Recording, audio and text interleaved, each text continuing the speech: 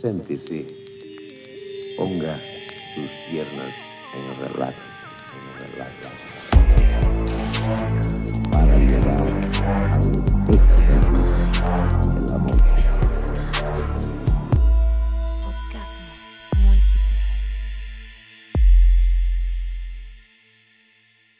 Bienvenidos al Podcasmo Múltiple. Hoy tengo dos invitadazos. Justo les está diciendo, ay, es la primera vez que tengo acá junto a mí a dos hombres. Uy, me encanta. Y tengo a Cachito Cantú, Yay. estando pero. ¿Qué más haces? Ni les pregunté. Eh, soy diseñador gráfico, creativo, elocuente, curvilínea, sexual. ¡Ay, ay, ay, hola. Inventada también, Sí, inventadísima. Y tenemos también a Germán Gallardo, a mí, estando pero también. También está pero mira qué raro. Pues bueno, Sí. para aliviar E el ingeniero tema. en sistemas. Ingenieros sistemas según mis jefes. Sí. Ok, Ah. ok. Es que Eso está bien. Soy diseñador gráfico. ¿Te da pena decirles que eres estando pero? No, no, no, porque si no, no me hubieran contratado. Ah, ok, buen punto, Sí. buen punto. ¿Tuviste eso, eso que pones en tu currículum, Tuvo que, que sí sabes hacer todo y cuando te ponen a hacer todo dices, mierda, ¿qué voy a hacer? Sí. Fake it till you make Sí, it. Sí, güey, sí, sí, sí, sí. sí, Así me pasó en un trabajo que era, ¿sabes hacer esto? Yo sí, obvio, y soy buenísima en esto. Y cuando estaba ahí dije, mierda, ¿qué hice? no?" Sí. Pero así es la vida. Oigan, hoy invité a Cacho y a Germán porque vamos a estar platicando acerca de la sexualidad de los hombres. Ya tenemos un episodio muy bueno con Ana Julia y con Eli que hablamos de primeras veces, de cómo nos enseñaron, que cómo- qué, qué discurso nos dieron nuestros papás, el colegio, el gobierno, todo el mundo. Y dije, güey, necesitamos hacer uno con hombres para tener Claro. esta mirada masculina. Entonces, Cacho, qué bueno que quieres empezar. Me encanta que, que te ofrezcas, que, Que- te que propongas, tributo, que propongas. Cacho, ¿tú te Mira. acuerdas que.? No, te he preguntado. Mira Sí, no, pero es que lo primero que yo quería decir es que vas a tener que hacer otro eh, de, con las mujeres, pero con una hetero y una gay, porque elegiste a dos lesbianas. Pero yo soy ah, hetero. Pero Ana Julia fue hetero mucho, mucho tiempo. Y no, y yo soy hetero. Ah. Entonces era mi punto de vista ah, hetero. Eres de esos. Ay, que- Hoy por eso invité a, a un gay y a un hetero. Ah, Porque dije, bueno, necesitamos lo mejor de excelente. dos mundos. Claro, se sabe, perfecto. Y ya dije Cachito y Germán. Ahora sí ya me puedes preguntar una disculpa. No, no, no, es tu podcast también, por eso te Ah, invité, huevo. porque te gusta mucho hablar. Eh, ¿Ustedes se acuerdan qué les enseñaron acerca de la sexualidad? O sea, como estas primeras palabras, esta plática en la escuela, esta plática con tus papás, o sea, como algo que se te haya quedado muy grabado en tu mentecita. Fíjate que no lo había pensado y sí me pasó una vez. Que no sé cuántos años tenía, pero a ver, contexto, yo soy de Monterrey y aparte Joto, ¿no? Entonces, eh, una vez, y me acuerdo hasta, me acordé hasta la sala que teníamos en aquel entonces, estábamos como que mi papá, mi hermano Javi y yo en esa sala, y luego Javi se paró y se fue, y luego me dice mi papá, oye, mijito, este, ¿ocupas que hablemos de, de eso? Y yo, ¿de qué eso? Pues de eso, de, pues así, si de, de allá abajo o así. Y yo, ah, no, todo bien. Ah, ok, bueno. Ya, eso fue todo, ok. Esa fue mi primera, mi plática Wow. sexual con mi papá. Aparte me encantó de allá abajo, de eso del DC, Sí, ¿no? Claro. sí, sí, que sí. se note la pena que hay. Sí, Sí, sí, exacto. sí, exacto. Por favor, dime que no. Básicamente me dijo, mijito, te ruego que me digas que no. ¿Tú, Germán, te acuerdas? Eh, yo me acuerdo, mis papás sí tenían unas como enciclopedias de sexuales, digamos, Ajá. y, y un día nos sentaron y nos, nos empezaron, porque somos cuatro cabrones, ¿no? En mi casa. Ay, claro. bueno, tres, tres hombres y una mujer. Y este, y nos sentaron a los cuatro y de que, Amir, este es esto, y nos leyeron página por página, tienen dudas de esto, y la chingada. Y eso fue lo mejor que me pudo haber pasado, porque mi maestro de sexto, que era el que me empezó a dar este, educación sexual, eh, tenía pedos mentales, o sea, tenía un pedos de, de ira. Y una vez que, pues, éramos niños, nos decía cosas de sexo y todos nos cagamos de la risa. Obvio, hacíamos obvio. chistes. Pero el problema que tenía el profesor era que te decía, ira, ira, ira. tenía problemas de ira. Con razón te sentías incómodo Sí, en su clase. Así es el pene, ira, ira, ira, ira. Nos, nos reíamos mucho. Y entonces una vez nos estaba explicando cómo era el parto. Ajá. Y entonces nos empieza a hacer el dibujo, según el de una mujer dando a luz, Ajá. y nos hace como nada más como el torso, Ajá. y luego las piernas. Y entonces un, un compa se empieza a cagar de risa, y el profe le pregunta, ¿qué te estás riendo? Y dice, es que parece un pollo rostizado. y borró todo y no nos volvió a dar clases de educación sexual. La primera y última clase. Sí, entonces, eh, entonces yo en la escuela no aprendí nada. No en la primaria, pues ya en la secundaria un poco más, pero en la primaria. Bueno, creo no que aprendiste más que cachito. Sí, sí aprendiste más que yo. No, ahora resulta que sus papás son unos expertos sexuales. Sí, no, ¿eh? mis papás tenían enciclopedias de sexo Nos ilustradas. Ahorita dijo, nos la leyeron Sí. toda. Güey, imaginé así, neta. Sí. no, o sea, no se pararon por meses, ya sabes. el capítulo No, eran, eran como dos libros, tres, este, y eran, y me acuerdo que en las portadas, como que ya eran viejos. Ok. En las portadas Ya. estaba una... Porque tenían un pelo así. Pinche este, y, y salían en la portada como un- un- unos papas y unos niños. Pero Ah. los papas estaban desnudos, pues. Estaban Ajá. como sentados en una, como en una silla de, de como un Acapulco, haz de cuenta. O sea, unos papás o unos, unos papas. No, Unos papás, unos señores, un señor y una O sea, señora. me imaginé así como al Papa Francisco, al Papa. Y yo, güey, ¿por qué había papas así? Sentados. Sí, porque había papas y no niños. Ah, no, dices que sí había, Sí había niños. Sí había Con niños. razón.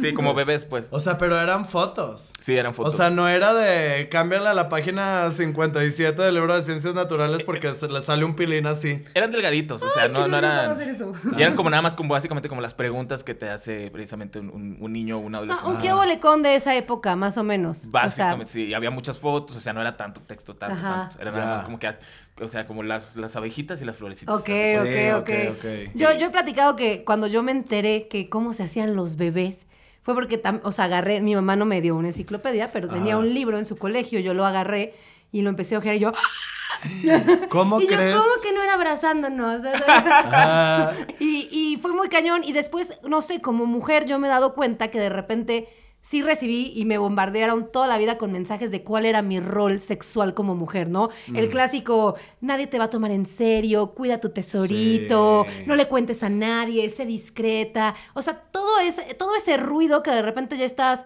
eh, teniendo una vida sexual y dices, güey, ¿por qué tengo tanta culpa? ¿Sabes? Claro, ¿Por qué me da tanto miedo meterme con alguien? Y esa fue como mi, mi contexto con el que crecí y creo que la mayoría de las mujeres. ¿Ustedes se acuerdan qué se supone que debían de hacer o cómo debían de comportarse de acuerdo a, a cómo la sociedad quiere que un hombre viva su sexualidad? Bueno, para empezar, Cachito no es con otro hombre, sí, ¿no? ah, sí, aparte. Y el Monterrey.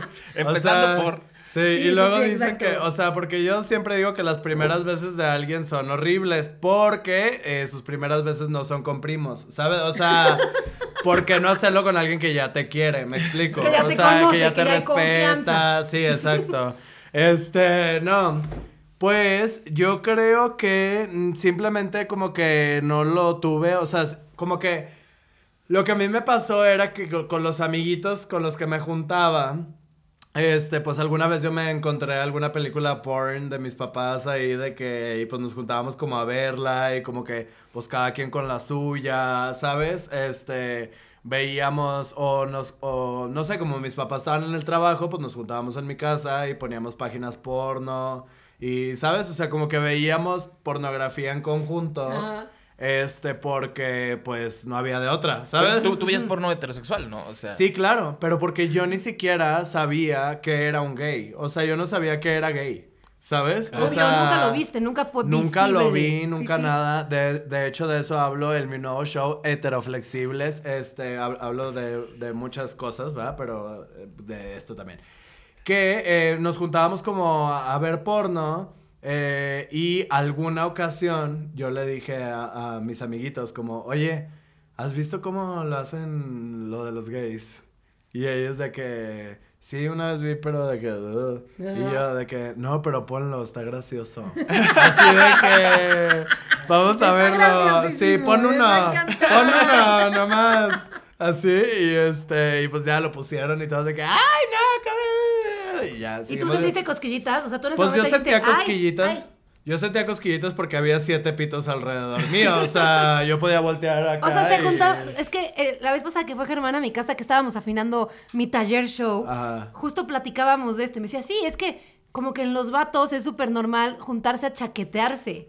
O sea, entonces no nada más se juntaban a ver porno, sino que se juntaban y se la jalaban todos al mismo tiempo. Cada quien con la suya, sí. Sí, sí, no, no era de que nos cambiamos manos así. Bueno, Sí. que de hecho yo nunca lo hice, ¿eh? A mí me daba como mucha cosa como de que yo decía, ¿por ¿A qué? poco sí? A mí ¿Por sí me valió verga Porque- siempre. No, porque le voy a ver la verga a mis compas, Ajá. ¿sabes? Además, yo creo porque mis hermanos, como no eran, ca- también eran gays de closet, no eran este, abiertos en su sexualidad, y entonces yo no podía hablar con nadie de sexo más que con mis amigos. Ajá. Y entonces mis hermanos me decían, no, güey, eso está bien raro. Entonces yo, yo nunca le jugué a esas cosas. Yo Ya. No, yo sí. Es que Monterrey, ya sabes. de que Sí, Muy no, pero a él lo es de. Coahuila, Ay, peor. no, no, no, y también mis amigos de Puebla, yo sí escuchaba que era como, ay, nos juntamos a ver porno y nos chaqueteamos, y, y ahí me llamaba mucho la atención cómo es que los hombres hablan tan abiertamente a esa edad de su sexualidad, ¿no? De nos masturbamos juntos, vemos porno, y como mujer era, ¿ves porno? No. Claro, no, ¿Cómo y además, y además güey, es una reunirte cosa... a tocarte con tus amigas, güey, o sea, Ah, en la vida, sí, ya sabes. ¡ah! Le hubiera estado chido, porque así ya todas, eh, amiga, ahí está tu, cli- ese es tu Sí, ombligo, güey, el más timbre. abajo, ajá, ajá. No mames, qué loco esa escena de todos chaquetes. Sí. Qué loco, qué loco. Pero qué sexy al mismo tiempo. Sí, sí, sí, sí, es sexy. Que de hecho alguna vez me hice esta pregunta y estaba muy complicado el planteamiento que estoy a punto de hacer porque voy a utilizar palabras peligrosas y podrían sacar este pedazo de contexto, pero me vale un kilo de reata porque no estoy diciendo no es mi nada malo. Porque no estoy diciendo nada malo, simplemente si lo escuchas mal, se escucha mal. Ok. ¿Qué tan pedófilo es? Ok, que, ya empezamos a... que, o sea, pues imagínate que tú viviste una experiencia sexual a los 14, que tú ahorita a los 30 digas, me voy a masturbar y voy a pensar en esa experiencia sexual que yo tuve a los 14. Ya. No está Porque mal. te estás imaginando a la otra persona, pues tiene 14. No es como que, no es como que evolucionó en tu cabeza y ya lo ves como un adulto. O sea, pero creo que es algo que, número uno, tú viviste y estuviste ahí. Sí. ¿Sabes? Número dos, es una fantasía. Es y es una- una fantasía y no Pero- estás dañando absolutamente a nadie. No, pero qué feo pensar que tienes una fantasía con, Con no. niños. O sea, sí. O sea, sí, Sí, qué, sí, qué sí. creepy, pero mejor pensarlo que hacerlo. Ya sabes, Ah, y bueno, mejor sí. erotizarte con ese recuerdo que algo detonó en ti y por eso Sí. se te hace erótico. Por la Sí, sí. persona y que la persona ahora también es mayor de edad. Pero no que Claro, le quieras claro. hacer. Mientras no le marques para preguntarle, oye, ¿no tendrás hijos? Sí. Oye, no se reúnen y no me querrán invitar. Oye, ¿cuántos años dijiste que tenía tu hermano? Ay, el chiquito. Mientras no hagas eso, entonces estamos bien, exacto, creo yo. exacto. Sí, no está, no está mal. O sea, entiendo de dónde ¿Les ha pasado? No, no, Pero porque... es que yo no tuve esos momentos Ah. eróticos de ver a otros y a otras tocándose. Y era una cosa, porque además, joven. fíjate, en la, en la secundaria y en la prepa era un cotorreo de que cuando nos contabas con tus compas, y era, yo, por ejemplo, yo fui feo en la secundaria y en la prepa. Sí. Este, y entonces, Yo también, chocolate. y entonces, pues yo no, no, o sea, yo boobies y eso ya fue hasta Sí, terminando la prepa. 32. Como 17 años, Ah. desde cuenta de 18, yo empecé ya a agarrar boobies y cosas así. Ah, o sea, no viviste una experiencia E- antes. Entonces mi experiencia sexual, sexual, no. O sea, besos y novias de eh, manita sudada, pero así de... Qué fuerte. Entonces yo la, la experiencia que tenía era a través de mis amigos porque nos contábamos y era de que, güey, tenía un compa que era mesero en un, en un bar. Ajá. Entonces, pues llegaba y nos platicaba de que, güey, una- me pasó le esto. gusté a una morra y nos la- me la metí a la bodega y entonces me agarró. Pero era una cosa de que me agarró la verga, güey. Todos de que, ¿qué? Le, le metí la mano. Es más, huéleme, la clásica, huéleme los dedos. güey, Eso lo hacen No. mucho. Para que, para ¡Qué que te huelen a, te huelen a, es que huelen a panocha, güey. Ay, no, una pero también los pudiste haber metido en una lata de whiskas y decirme, a ver, huele mi dedo. Ay, no. Sí, Y era es que así. es súper común. Eso de, Sí. como que llegan con los amigos a, a presumir de, Sí. huele mis dedos. Y deja tú que llegues con los amigos. deja tú que llegues con los amigos. Perdón, sonido, perdón. La primera vez que yo lo hice, me acuerdo que llegué todavía a mi casa y no me lavé las manos. con la de, que ya, de que ya tú Ah. estabas dormido y te despertabas y luego todavía le hacías. ¿Sabes? O sea, pero era, era porque me habían dicho, no era una cosa que yo pensara que estaba. sí, o sea, era Sí, porque sí, yo había visto a tantos mis amigos que platicar y, y de Que. No, güey. y, y la otra vez me seguían oliendo, güey. ¿Sabes? Y entonces yo quería ver saber si era, era como de que yo estoy viviendo ya la experiencia años más tarde, tal vez, pero la estoy viviendo, ¿no? Sí, claro. Y, es- es una- Y pero eso es lo que se tiene que hacer, es la información que yo tengo. Exacto, o sea, mi tío, eh, eh, un tío de Torreón, me, este, a mi hermano mayor cuando cumplió 18 lo llevó a un Lo table. penetró. Le pegó un mamadón. lo llevó a un De su table. cumpleaños, muy Ah. Y- bien. pero mi hermano mayor era, era gay, güey, la cosa más Sí. incómoda del mundo, porque además mi tío es bien, es bien ñoño, pues. Ah. Entonces ni siquiera lo llevó porque mi tío quisiera Ya. llevarlo, sino fue como de que, güey, pues yo soy el tío. Claro. Y es mi deber El como padrino, hombre llevar a otro hombre. Exacto, y dice Qué que además llegaron bien temprano, que estaban trapeando y así, o sea, dice, el otro día me platicó mi tío y me dijo, la cosa más incómoda que Pero las jamás". prostitutas estaban trapeando. con sus taconzotes y así de que. con sus cesáreas. Pero, güey, eso es súper común, ¿no? Esa presión porque el hombre eh, empieza a ser sexualmente activo. Y es como, no, güey, o sea, vamos con, vamos al putero, contratas a alguien, o sea, como que también está esta presión del hombre de tienes que hacerlo. Y por otro lado, esta presión de como mujer de no lo hagas, cuídate. Entonces de repente, pues, ¿cómo, cómo, cómo? ¿A qué ¿Con estamos quién? jugando? Sí, y ¿con y es que es eso, es que es el punto precisamente de que, como tú le estás diciendo a la mujer que se cuide, el hombre te, te conquista y el hombre lo logra y entonces es, es un logro para el hombre que se ganó a una mujer que no coge. Claro. Por eso quitar la virginidad es como el mayor premio, porque es como que tú abriste ese camino que nadie más había podido abrir antes. Claro, nunca lo había pensado, porque sí es como una conquista. Sí, ¿no? O sea, claro. yo, yo he escuchado güeyes de, a mí me encanta que nunca lo hayan hecho y creo que va por ahí, como... Es, es este- Fue, yo llegué y yo fui el primero y por mí se sintió seguro. O sea, estupideces que nos han sembrado en el cerebro al final. Sí, Sí. yo- a mí la, la, la, la morra que me quitó la virginidad, me acuerdo que cuando empezamos a salir, ella se portaba sangrona y me decía que no quería salir. Y yo decía, güey, pero no. O sea, es muy obvio que sí quiere salir. Ajá. Y ella me decía, sí, me lo decía directo, es que te tiene que costar. Ah, Te sí tiene que que era gustar. azul. Ah, que esa es una celeste. súper... Esa frase es clásica. te- amiga, que le cueste. Date Sí. a desear. Es Pero que- yo decía, ¿por qué? ¿No quieres tú? O sea, porque somos dos personas. Ajá, Sí. ajá, claro. O sea, si no quieres, pues no, no, ya podré yo como tratar de que veas que sí vale la pena salir conmigo y lo que tú quieras. Pero si tú ya quieres salir conmigo y tú, tú misma te estás metiendo el pie, porque Sí, qué tal que yo digo no quiero. Y me dice, pues es que si no quieres, entonces no me querías tanto. Y yo, ¿cómo vas a saber que te quiero, lo que, Ah, qué tanto te si quiero si no salgo conocerte, contigo? Claro, claro. ¿Sabes? Y luego me quitó la virginidad.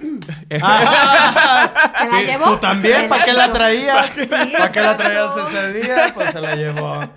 Luego dice, yo perdí mi virginidad y yo no se pierde. Yo, Pues- yo sé con quién está. Yo Sí, sé a quién ajá, se yo la sé quién se la. No Una vez, una vez escuché a alguien decir que guardar tu virginidad para una para la mejor persona es como guardarte una caca para hasta que encuentres una buena taza, ¿sabes? Lo vas a hacer muchas veces. Ah, Sí, sí, no, sí. na- nada Sí. más ve, hazlo en la taza que sea y luego ya vas y, ¿sabes? O sea, no tienes que... Pues sí, yo creo que así como los hombres teníamos nuestras, o sea, tenemos o lo que sea nuestras creencias por contextos sociales y demás de que, ay, pues hay que conquistar y estar con una persona virgen y bla, bla, y la mujer, o sea, como que está muy cabrón ese pedo de que cada uno tiene eh, como su camino que debe de seguir o como te tiene que costar. Como si fueras un Y personaje los de... de- gays tenemos eh, desinformación. Que básicamente, o sea... No, des- que no descubran que eres gay hasta que ya estés Sí, grande. sí, qué Es esto, que nadie, que nadie de tus amigos piense que eres gay. Yo no me dejé, gay. perras. Yo gané. Pero, güey, justo, o sea, tú en el colegio alguna vez tuviste una clase de cómo sería, o sea, cómo es el sexo entre hombre y hombre, cómo cuidarse. Nah, hombre, en la perra vida. O sea, en una ocasión pasó así como con el maestro que dice Germán de los problemas de ira. enseñó Ah. la... la- sí, que me enseñó el pito. No, teníamos un profe que, el de biología, que era el profe Urbina. Y entonces un día habló de la masturbación y le empezamos a decir masturbina. Es que ¿cómo se llama profe Urbina? Parece Sí. como de Y- los Simpsons parece sí. ese nombre. Y lloró. entonces ya no nos hablaron de a los sexualidad. profes es súper Sí. cruel, cruel. Es que, es que dio tanta risa de Es que burla está de buenísimo. masturbina. Está buenísimo. Hay, hay apodos que escuchas que dices, este es un apodazo, man. Pero es- además, o sea, mucha de la educación sexual que yo tuve, que, que ya fue, porque muchas cosas las lees y las entiendes. Yo entendí que era el pene, que era la vagina, etcétera, ¿no? Que para, para tener eh, bebés tenías que tener relaciones y el- siempre me daba como mucha risa la explicación que tienes que introducir el falo y hacer un movimiento de vaivén, Ajá. ¿no? Ah. Como la forma en la que lo explican en la biología Sí, es como sí. de que, como si te estuvieran dando instrucciones. Ah, vaivén una- para adentro y para afuera. Sí, no sé por qué me lo imaginé de lado y yo como, como así. Y es una cosa bien rara, ¿no? O sea, que te estén explicando realmente, Ajá. como que te estén dando instrucciones de cómo coger. Y entonces, pues, pero yo la, realmente la, la educación que tuve de, de- de cómo coger era porno. Lo cual es la cosa más estúpida que puedes usar para educarte, porque el porno está hecho para eh, eh, apaciguar o para, eh, eh, ¿cómo se dice? Para dar a tono con el dedo en fantasías sexuales masculinas. 100%. ¿No? Es para que tú como hombre te la pases bien viendo gente coger. Pero las mujeres en los videos de Sí, porno no es la vida real, heterosexuales, claro. generalmente no se la están pasando chido. No, no, no. Y además gimen como, como si se fuera a acabar el mundo, ya sabes. a, y mí- es como a- que. a- a mí la cosa más chistosa que yo he visto en los, en los videos porno, que, que- que yo he dicho, no, esto no, no es común que le guste esto a las mujeres, es cuando les dan cachetadas en las chichis. Ay, ajá. qué Y, yo, y sí he conocido morras que sí dicen, a mí sí me gusta. Y yo digo, sí, pues. Sí, pero, sí puede haber, claro. Pero yo lo descubrí dándome. Yo la forma en la que me di cuenta que no les gustan las mujeres fue que le di una cachetada en la, en la chichi a una morra y me dijo, ¿qué estás haciendo? Y qué bueno que te dijo, porque muchas no dirían nada. Ya Sí, sabes, muchas sería como. Ay, bueno, qué pena decir, qué pena hablar, qué pena Sí. opinar acerca de mi placer, que haga lo que quiera, porque así lo vi yo también en el porno y se supone que debo de sentir rico por esto. Sí. Nada, pero que un feo te cachetee la chichi y dices, nah, nah, güey. Tuviera bonito el güey, dices, pues bueno, ya, cacheteame la otra. Así, es más, pellizcame el pezón. Sí, sí, sí. Pero te voy a decir una cosa, hablando una ahorita cosa. de el, ¿cómo se dice? El, del gemido. Ajá. Que yo siento que es algo muy común. Me encanta, estás leyendo mi escaleta, ¿verdad, cachito? Claro. Ay, no, no supe. Ah, está, mira, no, no vi. Este, los gemidos que. eh, ajá, que los ves en el porno y dices tú que antinatural y así. Qué rico se siente gemir. O sea, de verdad, cuando conscientemente digo, hoy voy a gemir. ¡Wow! O sea, eleva tu experiencia totalmente a otro nivel. Pero los hombres casi no se atreven a gemir porque No. yo siento que es porque sienten que es algo femenino. 100%. Y además en el porno no ves que giman. ¿No? O sea, generalmente en el Uh. porno. Es que Uh. cae, gordo, cae gordo cuando estás viendo porno y de repente el vato empieza a gemir tú dices, tú cállate, yo no te quiero escuchar a ti, güey. Ah, bueno, eso puede ser, porque como está ser. hecho para hombres, entonces, o sea, bueno, Claro. el que tú ves heterosexualmente. Claro, insisto, insisto Ajá, ajá. Pero sí, gemir a mí me parece magnífico. Y cuando yo estoy con un güey y no hace ni medio ruido, es como. No, Ah, a, mí sí. a mí sí me gusta, o sea, porque yo digo, ya estamos aquí, hay que darlo todo, ¿no? O sea, ¡Eso, mamón! y, y a mí me gusta, a mí me gusta mucho cuando, cuando cojo, me gusta mucho que la morra se la pase chido. Claro. No, porque si yo me, yo me la puedo pasar chido yo solo. Sí, por eso siempre invito a un amigo y que se la coja el amigo. Para que se la pase bien. Para que se la pueda pasar bien. Sí, ya nomás yo veo. Eso es ser bueno. Le contrato los un güey. veo, ¿no? Todo beullerista, así. No, y este, y entonces, eh, pero, por ejemplo, sí me ha llegado a pasar, y también, yo eso, eso precisamente que está diciendo Cacho me, me, me- me sonó mucho, porque una vez una morra gritó así durísimo, ¿no? Estábamos, estábamos en un motel y como que la morra dijo, uff, aquí, Ay, aquí es donde. aquí es donde claro, se puede. Y sí. gimió una cosa locurísima, y yo, Sí.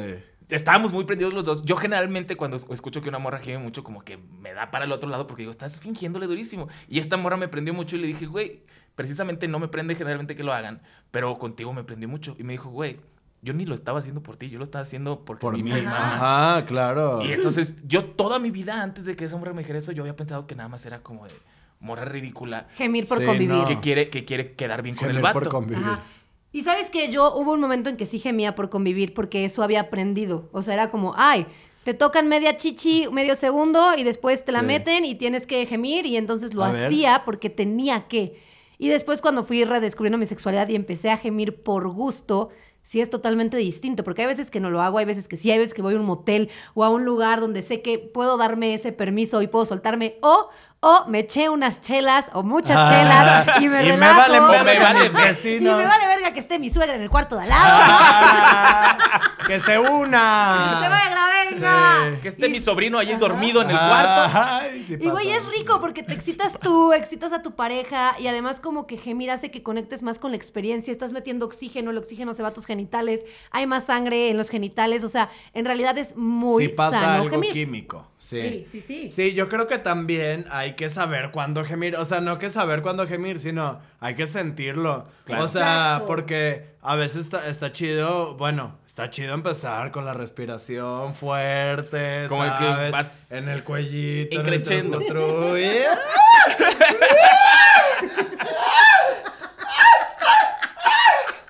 Así que esa es tu forma de gemir. Sí, así la hago. Ay, no era un perrito que lo Pero estaba es que a veces sacan mucho de pedo. güey. O sea, a mí de repente gimen cuando me la están mamando. Yo digo, ¿qué, lo que te estoy haciendo? Bueno, pero es que es rico, Mm. es excitante. O sea, es que no necesariamente. Bueno, esa es mi experiencia. No, sí, que te la O estés sea, mamando. pero- no, pero a que le hagan mí, como que- a mí, está raro, a mí hacer un blow me gusta mucho y me prende. Entonces sí podría llegar a gemir porque es algo que se- no sé, siento rico. O sea, sí me erotiza hacerlo. Pero, ¿Ya pero sabes? siento que no es gemir, gemir, no es como cuando comes algo rico y le haces. No, es como. ¿no? Es como a mira, mí se me gusta el. Eso es otra cosa, eso es, otra- eso es otra cosa que nos enseñó el porno, porque Sí. el, el porno en general te enseña que el sexo es Violento, violencia. sí. Sí. Es violencia hacia la mujer Ay. y entre más la violentes, más, es, más, Le va a gustar. más O cabrón sea, eres tú. Somos dos hombres y a mí me gusta. Claro, porque eso, porque eso nos enseñaron. ¡Qué fuerte! O sea, ¿a ti te gusta violento?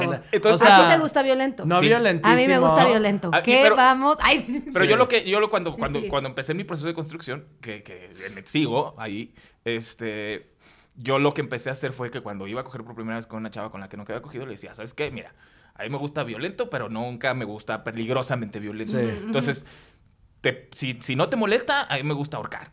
Y te voy a ahorcar, pero te voy a ahorcar así y te voy a apretar Bien. de estos lados para no realmente cortarte el oxígeno, pero que sí sientas como la Muy presión. importante, si ahorcamos Muy importante. aquí, ¿no? Sí, Aquí. Y no dejes entonces- que te ahorque cualquier pendejo. güey. Exacto, cualquier Germán. Sí, ah, Pero yo no soy un caballero, las siento y les pregunto primero. Pero eso es súper importante, Germán, porque como que cuando aprende... Creo que todos vamos en este proceso de, de aprender en el porno. No, no, Claro. no de aprender en el porno. no. De desaprender del porno. Sí. Y entonces aprendimos eso y luego es como, ay, a mí generalmente también me gusta rudo contra... O sea, rudo, sí.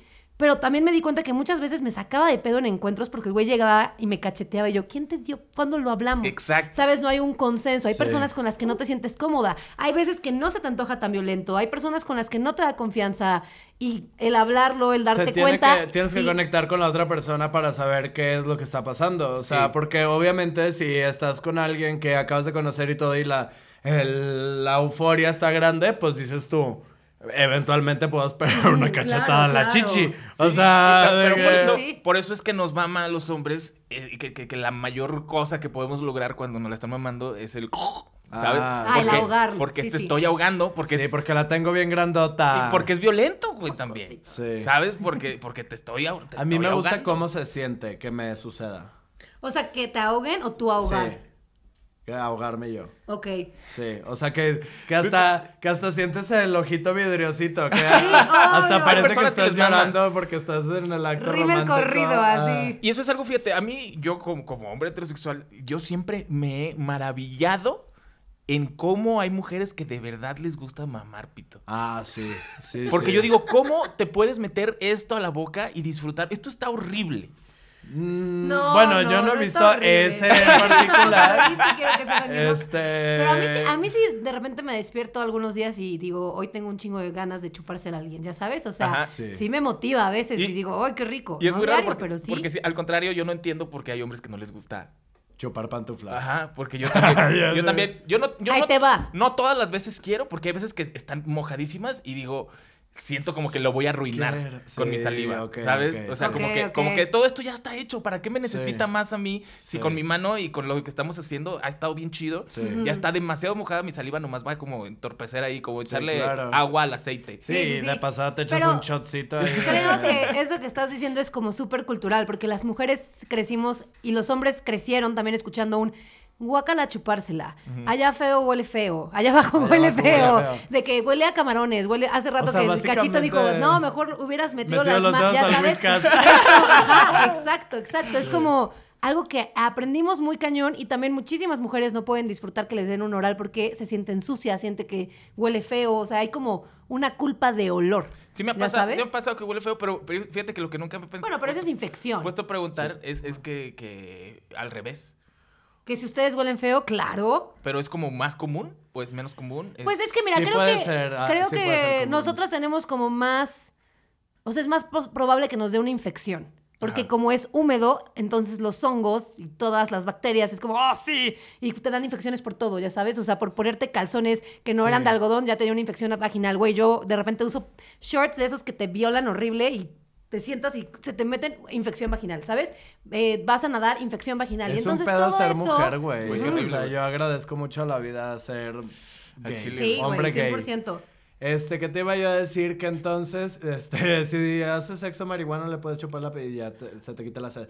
No, este, yo iba a decir otra Pero si cosa. marihuana no se le va Sí, a poner no así. se moja tampoco, te Ah, bueno, entonces. Lubricante. Sí, bueno, sí, yo no lo voy a hacer, pero usted en casita que sepa que nada más tiene que haber un conductor designado, este, que tiene que ser la mujer, ¿no? Sí. Porque si no, no se moja. Este, sí, güey, qué feo, pero ¿qué iba a decir yo? Ah, te iba a poner un ejemplo, siento yo. Que puede llegar a pasar que dices que si a los hombres nos puede llegar a oler mal o así, sí, obvio, y depende de tu higiene y todo. Pero yo creo que en una situación en particular que no sé si te ha pasado, a lo mejor te supo feo. Eh, que es como que en la noche llegaste en la pedita y como que cu, cu, cu, pero no se concretó nada. No te la jalaste tú tampoco así, o sea que nada más te quedaste con el nopalito bien baboso. Te duermes, te despiertas y en la mañana ahora sí se concreta el acto. Ya. Te, ahí, Ajá, ajá. ahí dices tú, eso sí huele a, Sí está a- a- pene de atleta. Sí. Sí. No, o sea.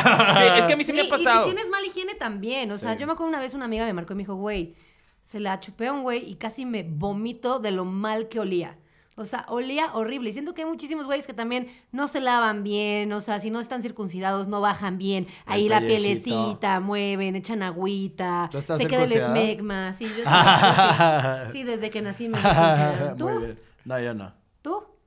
No, tampoco. ¿Y cómo? Pero- A ver, buen, buen tema, buen tema. ¿Cómo, cómo, cómo viven su vida? A como no? el pellejo. Ah, Ya. a como, a como el, el taco de tripita. ¿Alguna vez te has sentido, este, como, no quiero cagarla con la palabra, pero... Discriminado. al- discriminado por no, sí, discriminado por no estar circuncidado. No, pues la verdad que no, porque, o sea, Elastigirl, o sea, el mío funciona correctamente.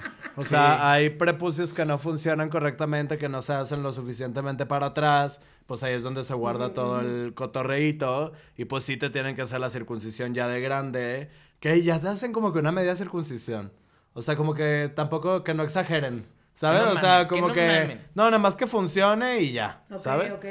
Y este. ¿Y qué vergas? Ah, sí, pues nada, la no, No, pero circuncisión. fíjate que no, Discriminación. No. no sabía que eso era un problema en algún momento ni nada. Sí, nunca Y yo poniéndoles una inseguridad, ¿no? No, Ay, pero sí hay inseguridad gente. desbloqueada. Nunca nadie se me ha quejado, nunca nadie me ha dicho, ay, no estás circuncidado. No, ni siquiera se ha mencionado. Yo ni siquiera sabía que era como un tema. Pero, pero porque se te hace el pellejo bien Sí. para atrás. Ajá. Porque Sí. cuando no se hace lo suficientemente para atrás, yo dejo de tocar ese peneine y, y me retiro.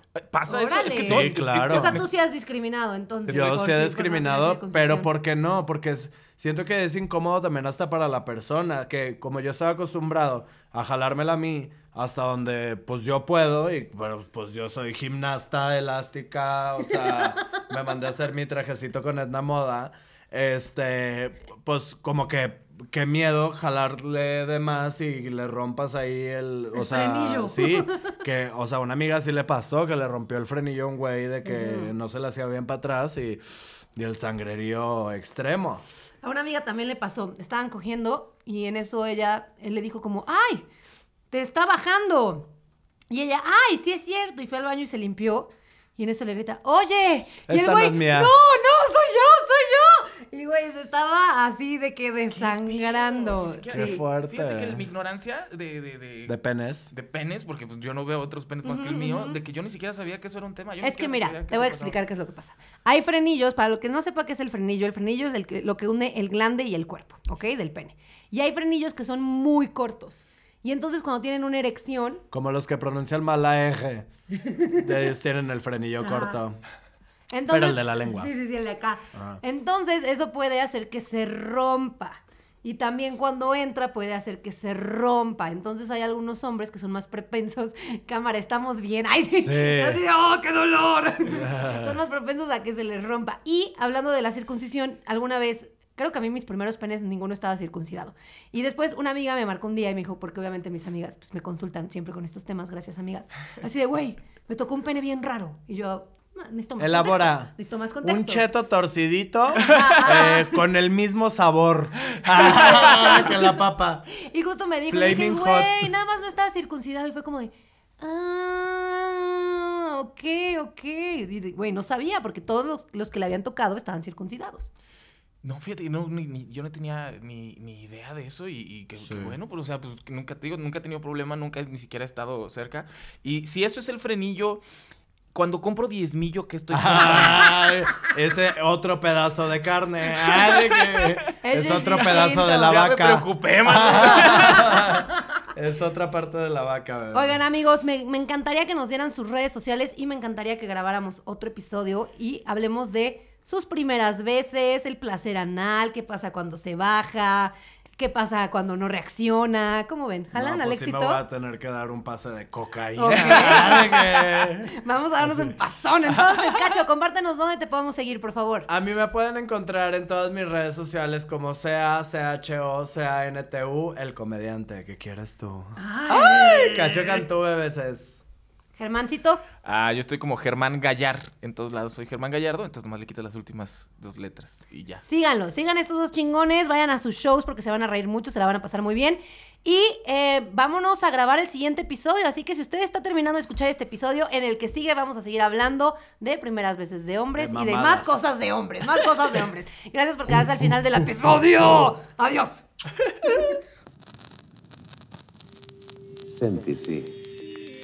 Ponga sus piernas en relax, en relax. Para llegar a